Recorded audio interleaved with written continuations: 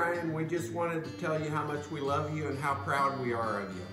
Wanted to let the Titans know we're praying for you to have a safe and successful season. Merry Christmas. Go Titans!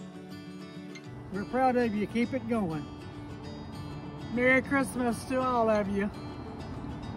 We love you. Hey Ryan, we love you. We miss you, man. Hope you have a uh, happy holidays and a Merry Christmas. Keep doing your thing out there. Love you.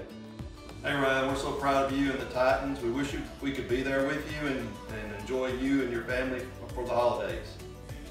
Merry Christmas. We love you. Titan Up!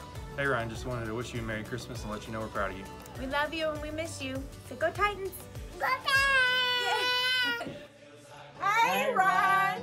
We're so proud of you. Merry Christmas. Titan Up. up.